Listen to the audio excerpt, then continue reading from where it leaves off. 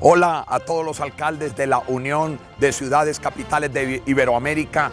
Eh, mi nombre es Tito Asfura de Tegucigalpa, Honduras, felicitando a los 33 años de la UCSI, un gran evento que fue hace 33 años realizado por Enrique Tierno Galván, que une a todas las ciudades capitales de Iberoamérica. Hoy todos nos sentimos como una unión, una hermandad de alcaldes para poder ver los problemas, cambiar impresiones y ver las experiencias de que ha tenido cada ciudad.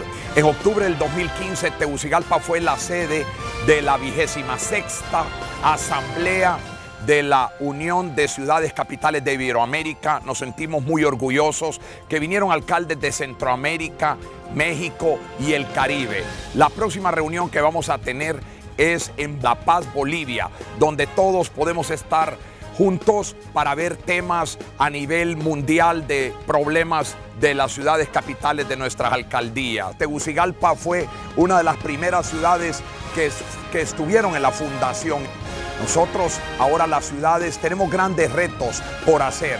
El tema vial, ambiental, seguridad, saneamiento, agua potable, en fin, tantas cosas que agobian a nuestras ciudades cada día.